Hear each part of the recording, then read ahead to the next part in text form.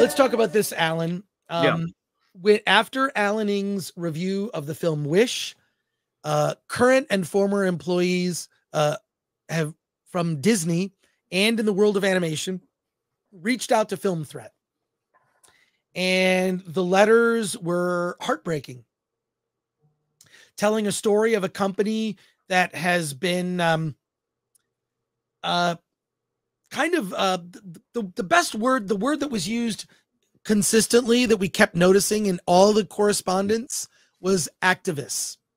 Activists have kind of uh, uh, taken over and and led to a lot of changes in the type of content that Disney produces.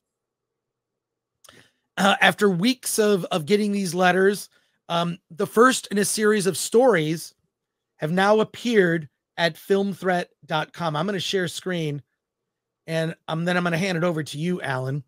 Um, oh, sorry. This is this is the front page of Film Threat. We post new film reviews every day. Go on our front page.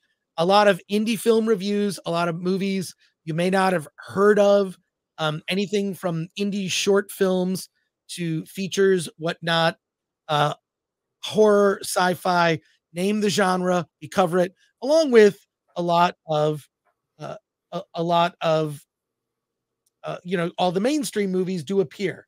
I know there'll be a review of Aquaman and the Lost Kingdom, but on the front page of Film Threat right now, the first story, The D Files, Part One, Disney and the downfall of John Lasseter. Alan, tell us about this story. Yeah, so uh, to this is the first of the of the series and and i felt like this was the most important story to tell right off the bat because i think it, it was uh, john lasseter's firing oh, i'm sorry resignation that um that kind of started the downfall of disney both creatively and financially. And so we kind of go into the uh the specifics here of uh of what happened you know and so uh, it just starts off and i set the stage the fact that you know pixar was uh you know pixar is basically the gold standard when it comes to cg animation feature animation starting with toy story and uh, and to today. And uh and it was clear that uh the the figurehead the the the person you saw all the time when, when you ever talked about pixar was john lasseter. Uh and then you know, because of uh, Michael Eisner's follies, uh, the, there was a announcement of a divorce between Pixar and Disney. Disney would no longer be the uh, the distributor of Pixar films, and that they were going to go and take take uh, you know do films for another studio. And at which point, uh, the, a coup took place, uh, taking down Michael Eisner. Uh, Roy Disney was kind of responsible for that. Roy Disney Jr. and uh, installed Bob Iger and the and one of the early things Bob Iger did was buy Pixar, and not only buy Pixar, but now put John Lasseter in a position of prominence. At which point, uh, at, at, this point, was the creative chief creative creative officer of both Disney and Pixar, and uh, and that role uh, spanned not just the animation department but everything, uh, theme parks, um, you know, and so you saw this kind of renaissance occurring with Disney uh, was a lot of excitement behind it. You know, everyone was saying Bob Iger is is an amazing guy because he he bought Pixar, he bought Marvel, he bought all these things. Um, and uh, and what we what we soon see is that uh, that there's a lot of attention being given to John Lasseter. In fact, uh, you know, I, I think you could say that John Lasseter could have been the the the Walt Disney of the Walt Disney Company in terms of being the for the figure at the forefront, um, being the lovable guy. You know, everything you felt about Walt, the congeniality of that, you felt with John Lasseter, and um, and so the question was, was that uh, you know, were they going to allow this to continue? You know, where was was were there were there uh, things going on in the background? People concerned about John Lasseter. Uh, taking on the mantle and being the figurehead and, and one day taking over the entire Disney uh, operation? Well, we don't know, but we do know what happened to him. Um, two things happen. One is uh, one thing you don't know about John Lasseter is a he's a really lovable guy. You know this part. Uh, he's he's a incessant hugger. He loves to hug. He has a penchant for hugging and showing affection. But when it but the other side of John Lasseter you don't know is the fact that he is a uh, he is a perfectionist. In fact, uh, he demands the best out of everyone who works for him. And uh, if if you were to present an idea or a project or some scene that you were working on to John, uh, it was it was almost as if uh, all emotion left him, and he would critique your your work, and uh, he would tear it to shreds. You know, and not only that, uh, not only would he tear it to shreds, but then he would tell you uh, why your why your idea sucked, but then tell you how you make it better.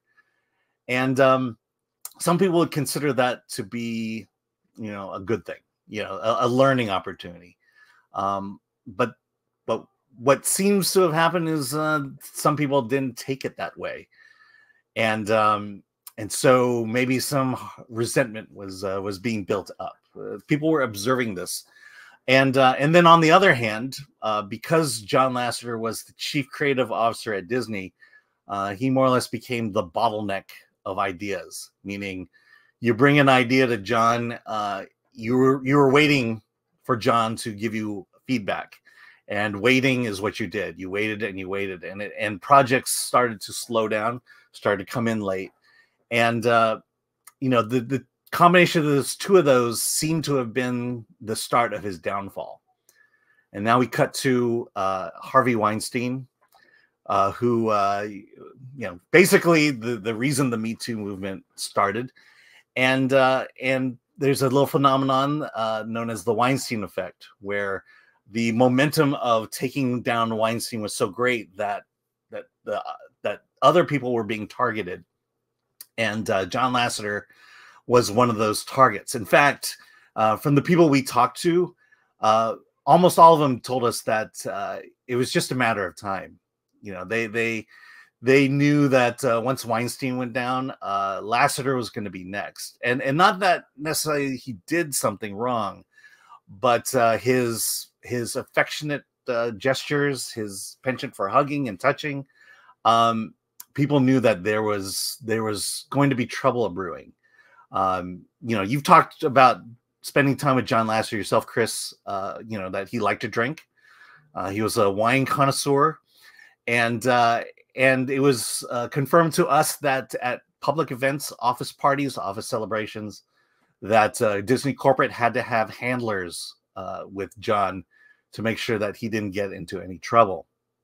And so when Me Too came around, it felt what people observe, but people in the company felt like was that uh, that there was a there was an activist element within the company that was gunning for for John Lasseter, and uh, and so the stories came out about uh, inappropriate touching, about uh, you know inappropriate behavior at an Oscar party, um, and then soon accusation and accusation came out, and uh, and uh, this you know, ultimately John would uh, do a leave of absence. This is what you do in corporate world when when you get when there are accusations against you. You you take a leave of absence and you you know you reflect and um and uh, I think you know and, and so this leave of absence went on for a few months and then it was announced that John would be uh, let go and that he would finish out the year and be gone.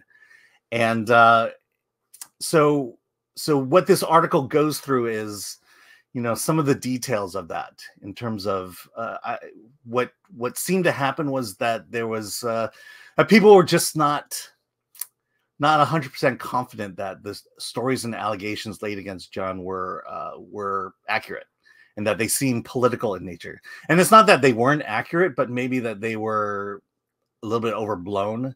Um, you know, people people you know, there are people who liked being hugged by John, people who look forward to one day getting a Lasseter hug, but certainly there are people who are not, you know, who who are not, you know, they they don't want to be hugged. They they want their personal space, and that's perfectly fine.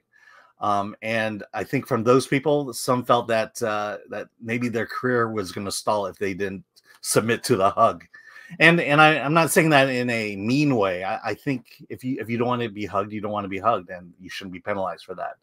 But again, it just seemed like there was an activist element that was gunning for for John Lasseter, and to to basically make him ex- an example, and and it was ultimately his firing that kind of set the stage for kind of an internal civil war at Disney, and uh, and we're gonna basically go through that uh, in the in the coming weeks, but uh, it, it just felt like that you know that a lot of people were were heartbroken confused um uh, about john's john's leaving.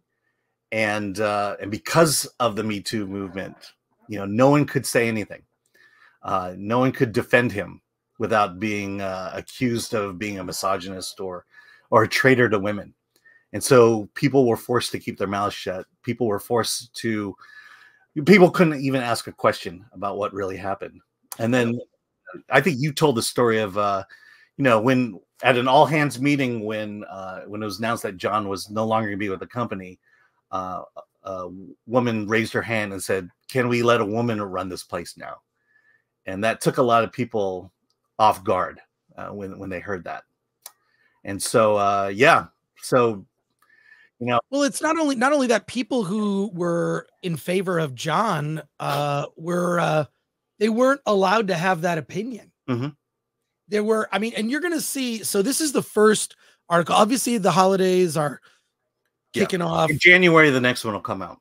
Yeah, yeah. But what I'm saying is, most people are actually already on holiday or already off work for the next couple of weeks. But this is part one before the holiday. Starting next year, this will be a almost I, I don't want to commit you to it like every week, yeah. but this will be a series of stories that will probably run over the next couple months, taking an aspect and it'll be in chronological order. So this is really yeah. the beginning of this story. I, I I I read the letters that we received. Mm-hmm. Obviously, I read the story and worked with you on it. I had very few yeah. uh few fixes yeah. here, I mean, the, but like yeah, um, I mean, I'll say the the next article, I believe, if uh, you know, assuming everything goes to plan, um, will will show that a lot of the the DEI stuff that we complain about uh, over the last few years uh, began long before Bob Iger came on board. And not just that, we're going to reveal the D, the companies that actually provide the DEI service and what the reaction to that is.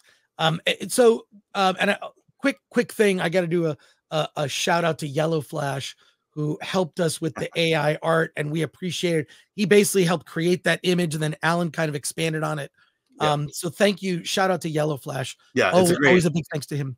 it's like, no, yeah. it's great. I, I love. I might, I might hit you up again, Yellow Flash. Um, but in any case, um, it's it's it's an amazing read, and uh, just thank you for. I mean, I will say this: the one criticism this article is going to get is unnamed sources. Mm-hmm. But here's what I'll say about that: there are a lot of other unnamed sources on the opposite side of the equation.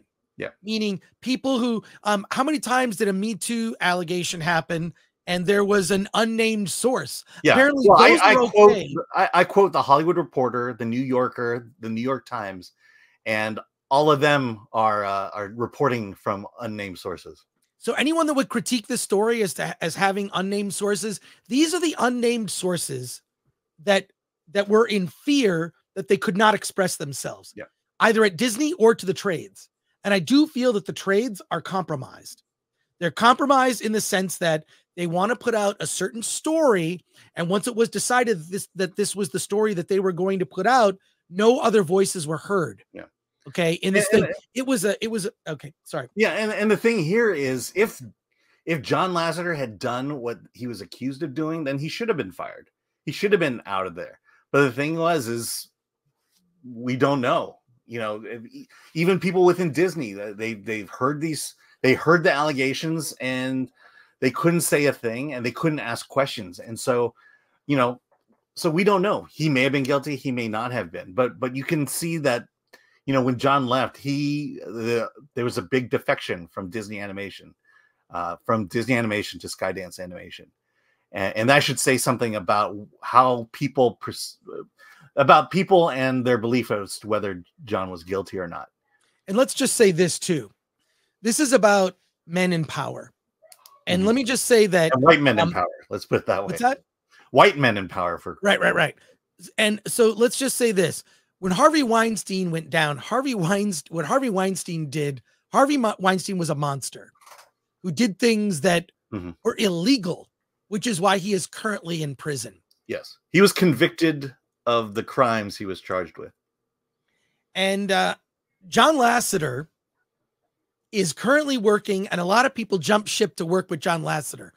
That alone should tell you something about him. That if John Lasseter was the monster that that he was portrayed to be in these stories that came out, do you think people would still be working with him?